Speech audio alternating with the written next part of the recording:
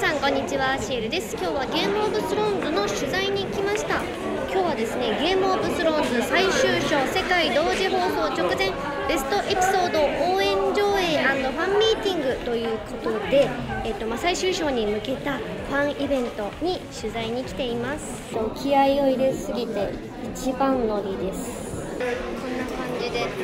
パネルがずらりと並んでいます海外ドラマの中でも圧倒的な人気を誇るゲームオブスローンズ架空の大陸で繰り広げられる七王国の玉座争いを描いた大人向けダークファンタジードラマです。こちらのパネルではこんな感じでキャラクターたちが堂々と鉄の玉座に座っていますが果たしてファイナルシーズンラストに誰がこの玉座に座るのでしょうか？これねすごい楽しみですね。個人的にはアリアを推してます。皆さんの推しキャラクターがいたらコメント欄にてぜひ教えてください。会場にはこんな感じでゲームオブスローンズのグッズなどの展示もありました。ゲームオブスローンズのイベントの内容はこんな感じでした。かなり盛りだくさんですよね。それではイベント模様を振り返っていきましょう。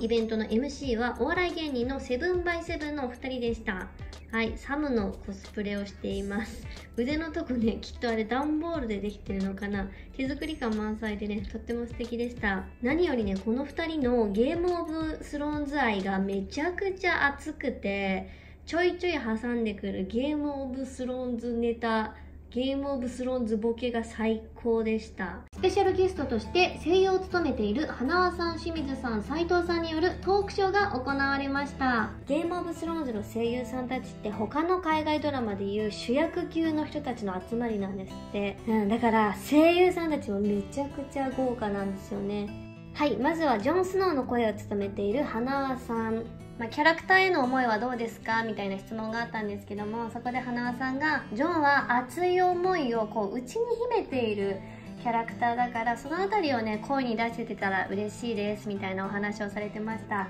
でまあ周りからどんどんこうジョンがリーダーのような存在になってきたよねっていう話をしててそしたらね花輪さんが「いやでもあいつやらかすからな」なんてそしたらもう会場中で「うんうん」みたいな納得みたいな感じで、まあ、その辺りがねすごい印象的でした。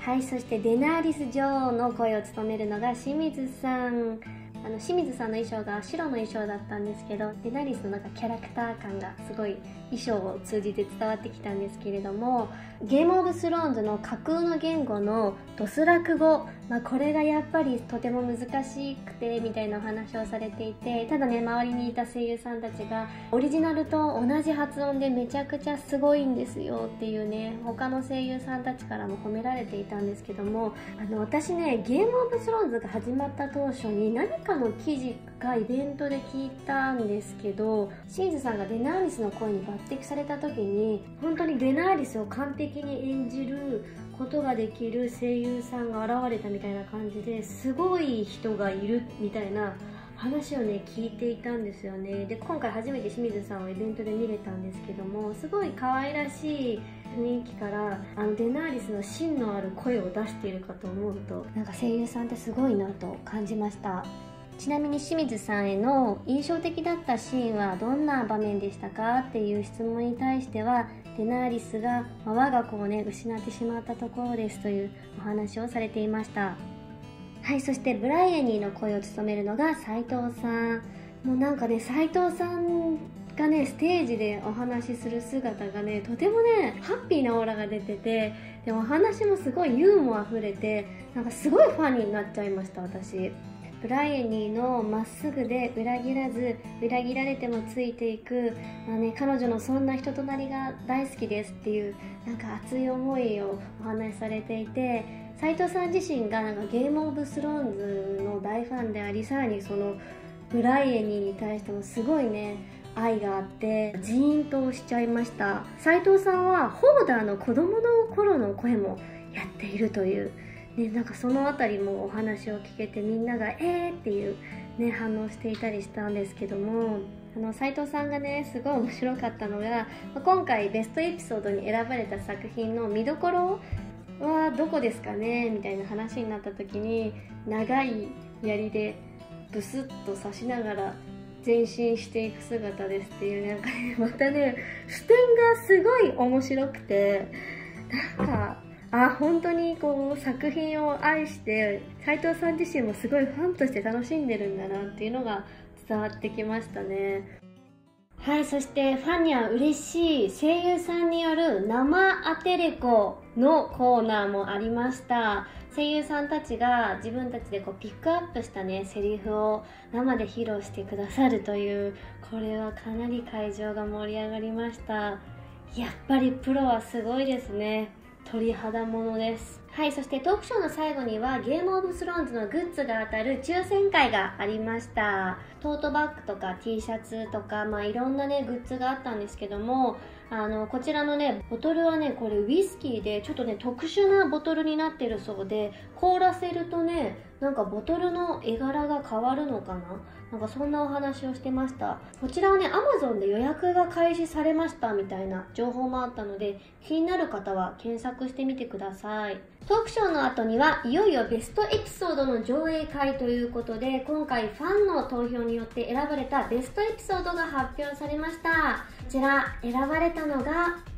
第6章第9話の落とし子の戦い。こちらのエピソードでした。やっぱりゲームオブスローンズって第9話がキーポイントになってますよね。これは本当役者さんたちや声優さんたちも言ってますね。9話注目してほしいと。今回あの会場がね映画館ということで、まあ、巨大スクリーンで楽しませていただきました。ものすごい迫力。そしてやっぱり音もさすごい大きな音でさ来るからさ爆撃のシーンとかでさ体にまで響くんですよ。ドーンって。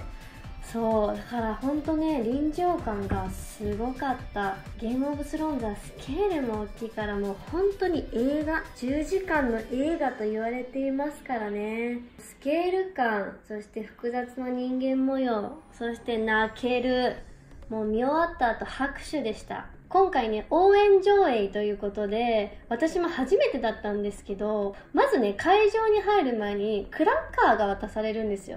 で、タンバリンも渡されるんですよ。で、私ね、タンバリンもって言われたんですけど、まあ、ちょっとね、あの、仕事の取材で入ってたっていうのもあって、いや、タンバリンは大丈夫です、なんて言ってたんですね。ちょっと応援上映というのを私はしっかり知らなくてですね、初めての体験だったわけなんですけれども、ゲームオブスローンズをね、鑑賞しながら、マジで応援するんですよ。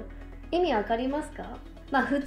ね映画鑑賞とかっていうのはみんな静かに見るじゃないですか。ただこの応援上映というのはね声を出していいわけですよ。例えば登場人物が出てきたらデナーリス上出てきたデナーリスカリーシーとか叫んだりとか大きな声で騒いで OK あのこれはですね私の中で衝撃的な体験でした。爆発のシーンとかでねみんながパンパンパンパンねクラッカーを鳴らすわけですよ BGM 音楽が流れてる時にタンバリンを叩いたり戦いのシーンでタンバリンでうわーってね叫びながらね なんか奏で始めたりするわけですよ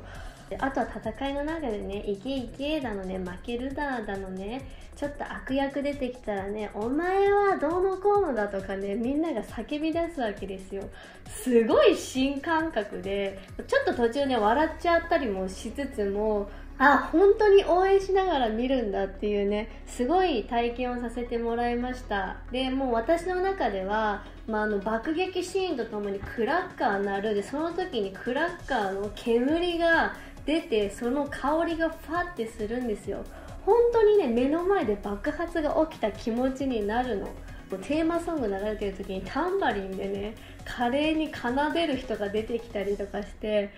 4D で見てきたという。そんな感じでしたね。あの、まあ、私は持ってなかったんですけれどもペンライトがあったりあとゲームオブスローンズでいうとあの家ごとのあの旗が配られていたりとか同じ好きな気持ちを持ったファン同士での交流だったりキャラクターにコスプレをねしてくる人たちがいたりっていうねあなんかゲームオブスローンズ好きが集まってみんなで楽しんで、まあ、みんなでねこう作り上げたような空間が生まれていました。あの今回ねサプライズムービーとしてゲームオブスローンズのキャストたちからのメッセージの上映もありました。こちらはトアマウンドとハウンドからのメッセージとあとはサンサからのメッセージでした。まあ、こういうのはやっぱりファンとしてはすごい嬉しいですね。ゲームオブスローンズの最終章直前のイベントをね楽しんできたわけなんですけれども最終章は BS10 スターチャンネルにて4月15日午前10時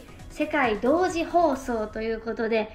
ついにファイナル始まりますこちらものすごく楽しみですはい、ぜひね、ゲームオブスローンズファンの皆さんは一緒に楽しみましょう。ゲームオブスローンズのイベントレポート動画見てくださってありがとうございます。動画が面白かった方は、よかったらチャンネル登録をよろしくお願いいたします。また、海外ドラマのレポートをしたいと思います。最後までありがとうございました。